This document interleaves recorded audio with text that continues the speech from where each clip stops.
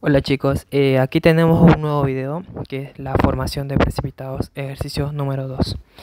Eh, como pueden ver, eh, este ejercicio es similar al anterior. la diferencia del único es la forma de obtener el oxidrilo. En este caso vamos a leer, leer el enunciado. Se forma una solución mezclando 50 miligramos de fosfato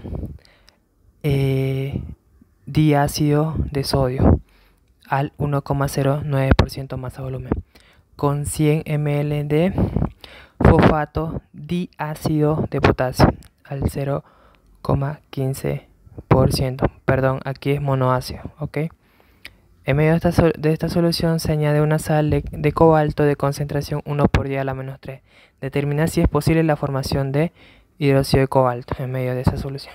Como datos, eso no los tiene que dar si o en el examen, no son datos no inventables, no dan KPS y los pesos moleculares. Yo ya los coloqué los datos acá.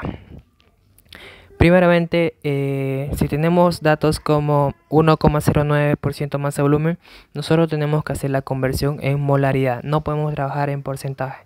Como acá en este el fosfato diácido de potasio lo, lo tenemos en molaridad. Ahora lo convertimos esto, lo convertimos esto en Molaría. Eh, primeramente,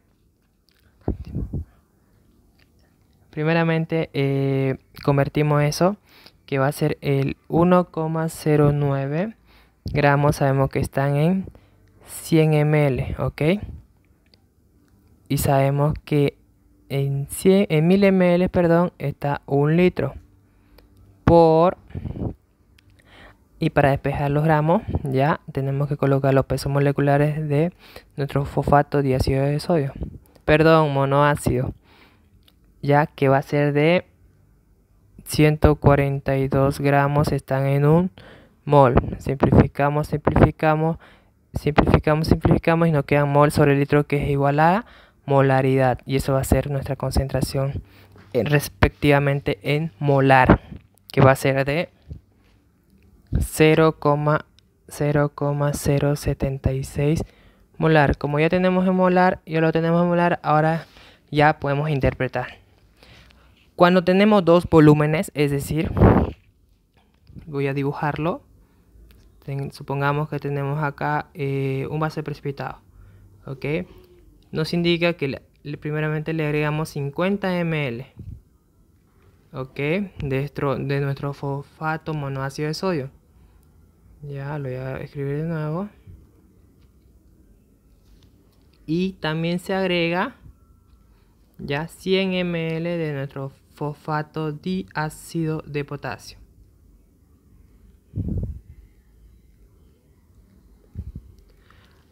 Obviamente con, su, con, con sus concentraciones respectivamente, al haber dos volúmenes va a haber un nuevo volumen un volumen final que va a ser de 150 ml.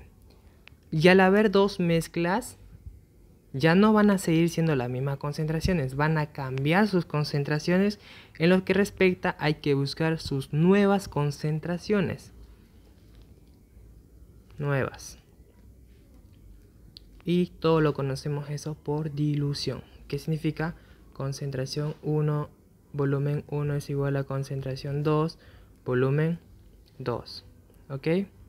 Primeramente vamos a, encontrar la nueva concentración del fosfato monoácido de sodio. ¿Ya?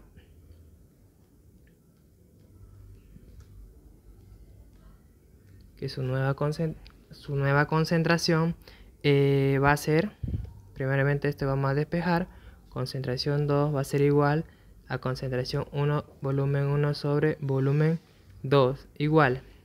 ¿Cuál va a ser su nueva concentración? Concentración 1 del fosfato monoácido de sodio. ¿Cuál es su concentración inicial? Esa es su concentración inicial. 0,076 molar. Su volumen inicial fue de 50. Y su volumen final es de 150. ¿Ok? Y esto nos da un total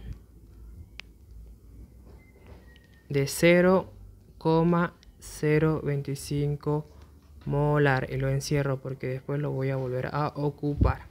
Ahora la nueva concentración del fosfato diácido de potasio a lo mismo. Concentración 2 va a ser igual a concentración 1, volumen 1 es igual a volumen 2.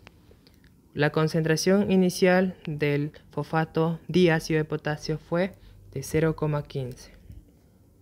0,15 molar por su volumen inicial fue de 100 ml y su volumen final de 150 ml que eso nos va a dar un total de 0,1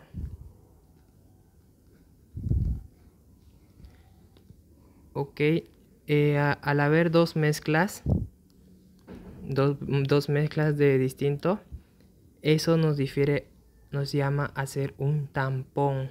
Todo el mundo lo escuchó el tampón cuando hay dos mezclas de dos volúmenes.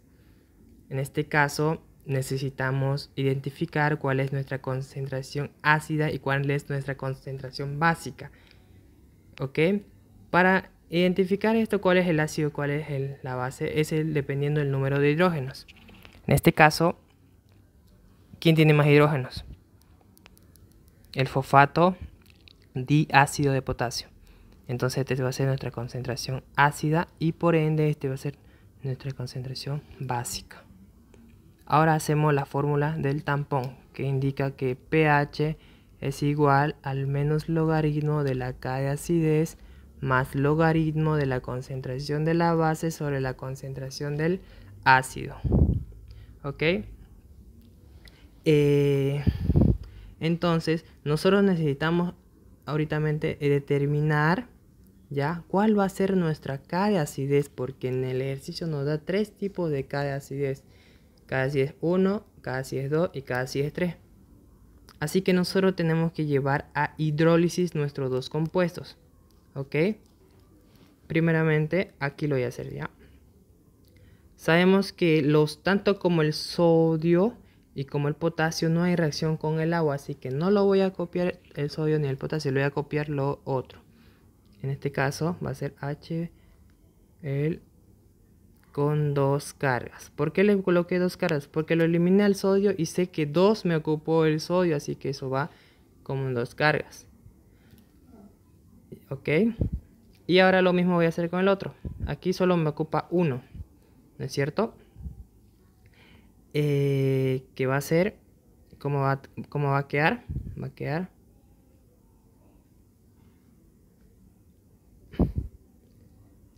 con una carga. Y yo determino con eso. Aquí hay dos y aquí hay uno. Entonces, ¿qué voy a ocupar? Voy a ocupar K de acidez 2. ¿Por qué 2? Siempre voy a ocupar el que tenga mayor carga. Aquí hay mayor carga, entonces 2. Si hubiese habido 3, K de acidez 3, entonces voy a ocupar este de acá. ¿Ok? Entonces, ¿cómo, va a ser mi ejercicio? pH es igual al menos logaritmo de 6,3 por 10 a la menos 8 ya más más logaritmo de la concentración de la base que es 0,025 sobre 0,1. Entonces el pH va a ser igual. Acá está mi calculadora, ya. Menos logaritmo de 6,3 por 10 a la menos 8. Ya más logaritmo de 0,025 sobre 0,1.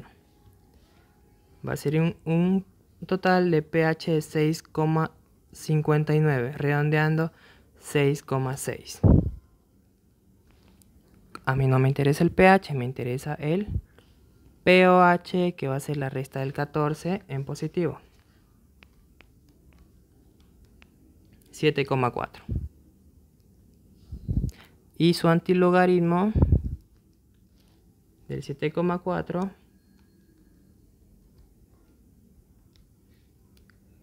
es de 3,98 por 10 a la menos 8. A la menos 8. Ok. Entonces ya encontré el oxidrilo. Ahora rehago lo que hice en el primer ejemplo que les indiqué. Ya copiamos nuestro precipitado problema, que es el hidróxido de cobalto. Los le separamos, cobalto más 2 oxidrilo. ¿Ok? Entonces aquí viene la Q, va a ser igual a la concentración de cobalto por la concentración de oxidrilo, pero al cuadrado. ¿Ok? Q va a ser igual a la concentración de cobalto. ¿Cuánto es la concentración de cobalto? Que ya me lo dio el ejercicio, que es 1 por 10 a la menos 3.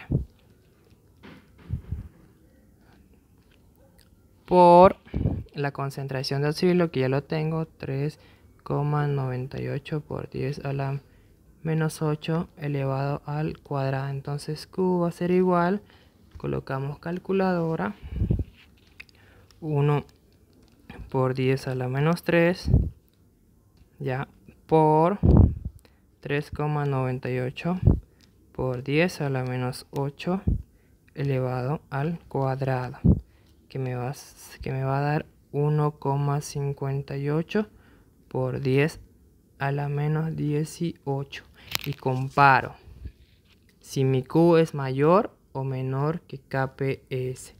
Aquí tengo mi Q, voy y busco mi KPS, que es 1 por 10 a la menos 43. Q es mayor o menor que KPS. Q es mayor que KPS, porque solo tengo 18 ceros por delante. ¿Entendés? Es 0,00 hasta llegar a 18. Es muy poco a comparado a lo que tiene este. Este tiene muchos ceros y al tener mucha cantidad de ceros lo hace mucho más pequeño. ¿Entienden eso? Entonces, si Q es mayor que KPS, si hay precipitado en forma de hidróxido de cobalto. Ok, eso es todo. Y ha sido un ejercicio muy largo. Espero me hayan entendido. Hasta luego.